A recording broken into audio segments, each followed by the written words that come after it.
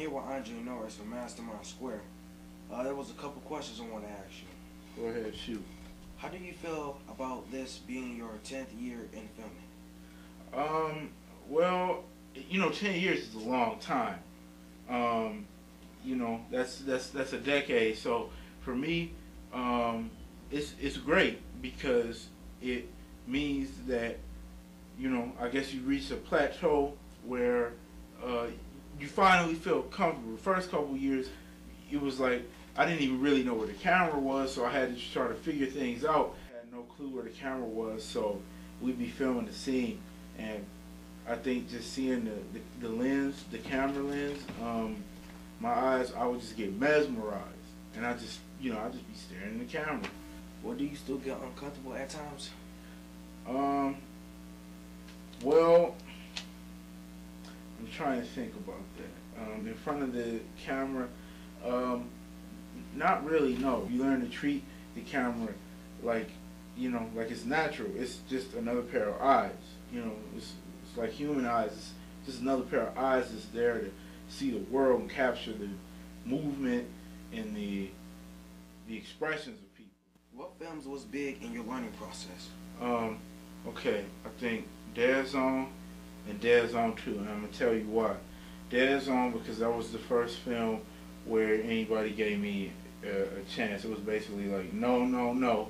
Before Dead Zone, you know, it was only certain films that I was really given the opportunity on, and basically everything I was given the opportunity on, it was because of me. But with Dead Zone, it was it was like I finally nailed it. That was I was a star in that movie, and the movie turned out to be okay. And so that was like the first film that really opened up doors. That led to helping TJ, Ball Game, and, and some of the other films. Um, you know, I, I, I, really wouldn't say that it was like Double Trouble or anything. And then with Dead Zone 2, uh, it was, that was the first, like, big uh, that was that was the first time I reached like a big plateau. I, I follow up something that was good. So those two films definitely uh, were were big. Which do you favor most, acting or directing?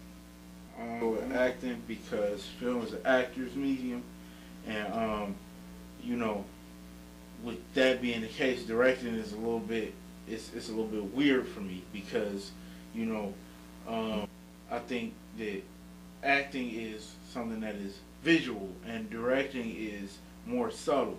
Directing is more so you're like behind the scenes and you're telling people what to do. And with acting, you get to be expressive. You get to, you know, let a lot of your, let a lot of what you feel come out. And with directing, it's just not like that. You don't have as much freedom. You, you know, you got to stand around and tell people what to do. But I like them both. It's just that I favor acting. What are the advantages and drawbacks of independent filmmaking?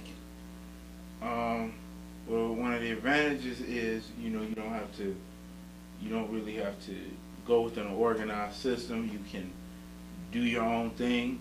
You can go against the grain and do things that, you know, they probably wouldn't do in Hollywood. But um, the drawback is you don't have that support.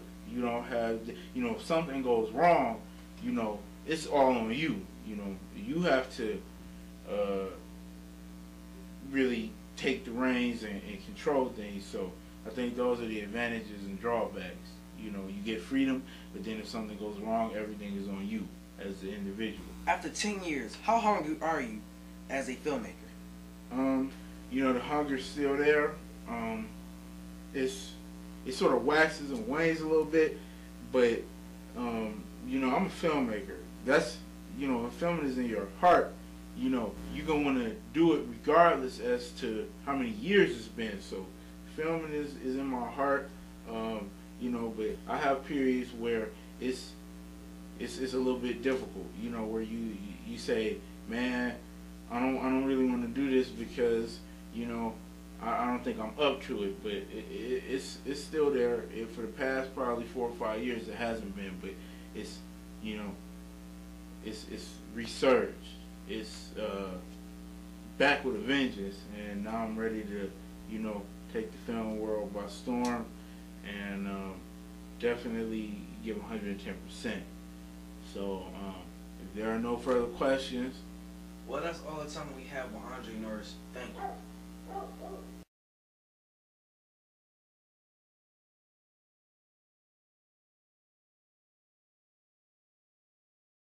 My name is Marcus, and uh, I'm a member of the Mastermind Square. And uh, this is my homeboy Andre. yeah, You how know you what I'm doing? saying? And we just, you know, chilling, hanging around in my hood or whatever. Yeah, it's raining, so um, maybe we can step on the porch for a minute. You know, we can talk. Yeah, um, I've been with them for like eight years.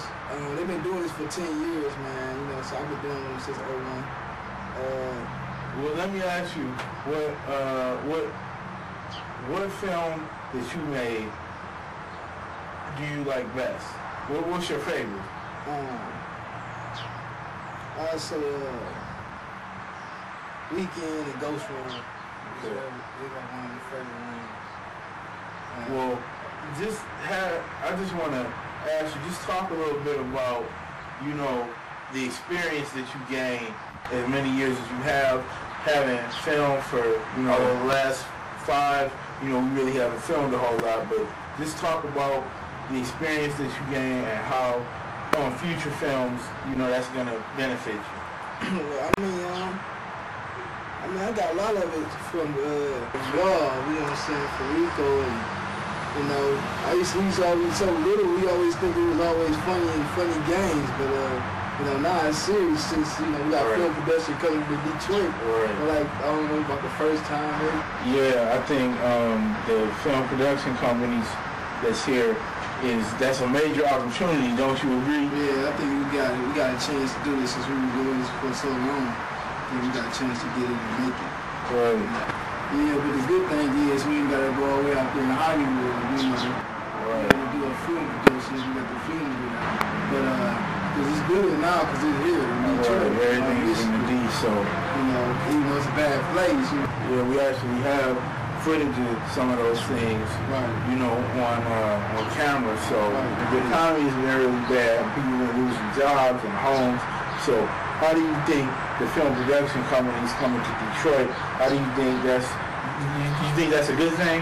Man, I think that's a big ups, man, because, you know, they have something that, you know, somebody else could do. You know, instead of just, you know, robbing and, you know, out here Yeah. killing each other, maybe they can Yeah. start thinking about film production since we got film production Yeah, here. something creative. And, uh, you know, the economy is being real bad, man. Shoot, man.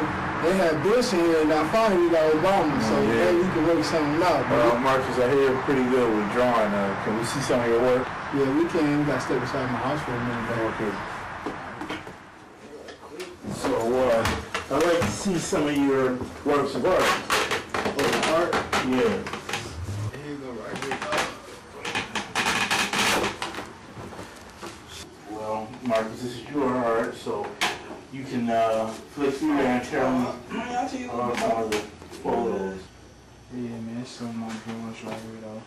Um, you can see I drew a stingray. So, uh, tell me a little bit about that uh, drawing there. It looks like a stingray. Yeah, it is. I drew this like two months ago. Okay, uh, let's take a look at some of your other art. So, tell me a little bit about that. Yeah, like I was saying though, but um, this I watched a movie when I was younger, Pumpkinhead, and um, I just started drawing it. So I Okay. drew Pumpkinhead, and this how it came out.